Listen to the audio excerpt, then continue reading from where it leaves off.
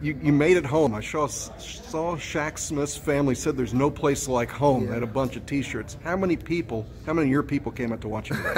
oh, uh, it was a few. It was a few people uh, out there. It's great to see my family and friends, and uh, hopefully uh, see them every each and every week. Is there any place like home for you? No place like home. I appreciate you. So, what was the philosophy today on defense for you guys to do such a great job? Uh, just tackling, uh, making sure that we, you know, we kept the quarterback in the, in the pocket. Uh, we knew that he was a fast guy and athletic, and uh, he was going to try to make plays with his feet um, and bring bring pressure. And this team hasn't had, you know, a shutout since 2013. What does it mean to be, a, you know, a part of that and you know have such a dominant victory? As a defender, that means a lot. That means a lot to see, you know, the defense come out there and not miss, you know, not miss tackles and make a lot of plays. So definitely meant a lot. You guys seem to really swarm to the ball. I mean, is that something you guys have been working on this year? The defense just looked a lot more active today than recent teams. Absolutely. Uh, we, we definitely stress, you know, bringing the pressure and uh, running to the ball. We start starts at practice. Keandre, what's it mean that when the starters were pulled, that the defense did not let up? Backups went in, and there was no problem whatsoever. I think, like what you said, uh, you know, the, the, starters, you know, we contribute to, you know, starting out the right way, and we want the, you know, the second team guys to get the same come out with the same energy and same uh, amount of intensity. So I think they did a great job. Jumped in late, key to containing Newton, preseason MEAC Player of the Year. You guys handcuffed him. Like I said, uh, it starts in practice. It starts in, with the scout look. Uh, great job from our scout team, and uh, just the players, you know, wanted to come out here and uh, you know make a statement. So. This is Mason Viner. Listen to the Young Terps podcast on CapitalSportsBlog.com and TerpTalk.com, the number one rated Maryland sports podcast. I would refer Jack Litch Law Group to anyone that I know because of their professional touch and they get the job done. They get it done timely and they do it right. As you just saw, our clients have trusted us. We need to reward that trust, and we have with great results and great service. So call the big dogs right now. Don't wait. Find us online at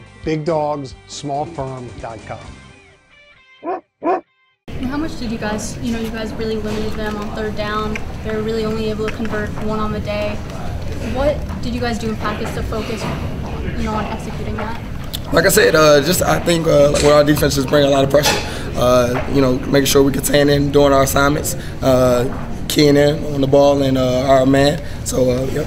There's a lot of speed out there defensively, no hesitation whatsoever. You mentioned practice, but when you're out there and you feel it in the zone, is just all 11 players just do you get that sense? Just go for the ball, everything else will fall into place. Absolutely, it starts at pregame. You know, just bringing that energy into the locker room, and then uh, when you're warming up, and then you know once the, ball kicks off, you know you got to bring it. So with everything with everything that's happened to Maryland year two, but to get this performance, is it refreshing to have this for the fans, this school, to move on and get into you know an exciting period for Maryland football? It means a lot. We're taking it one game at a time. Uh, Coach talked about the grad transfers and, and, how key they were, to, you know, and how important they've been to this team.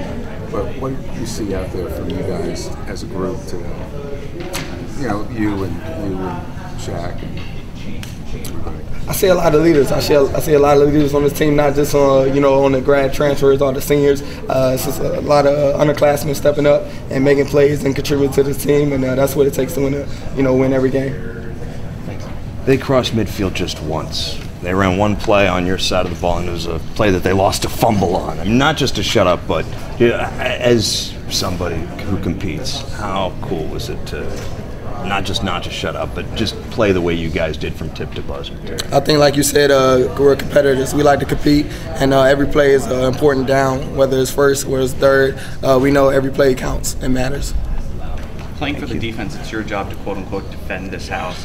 What does it mean though when you see the student section kind of empty out a little bit, or the uh, paid section be a little bit empty? Like, what's your message to get fans to come in and watch you guys play this season? Well, my role as a as a defender and as a college football player is you know go out there and do my assignment, do my job. So uh, as long as we keep winning and uh, you know bringing the fans in, keep them encouraged, and uh, like I said, just doing my job. How good did it feel to get that sack? Oh, it felt amazing. Uh, it just felt amazing being back home in front of friends and family. And uh, like I said, seeing the underclassmen contribute to the game and help out because that's what we're going to need uh, in the long stretch. So. Having that type of local connection, you know, with the team, with the area, and also Locksley having that same connection, how does that affect you guys and the other local players that you know have the coach coming come from the same perspective and having that same motivation? Uh, like you said, it's motivation. It's motivation for us to come out there and handle business the right way, and um, you know, just continue to do it every each and every week. How do you personally uh, plan to improve your game next week versus Syracuse? It starts in practice. Uh, taking every every opponent serious, just like how we took Howard serious. Uh, next opponent, we're gonna take this just as serious. So, yep, that's where it starts in practice. Thanks, Count. Thank you.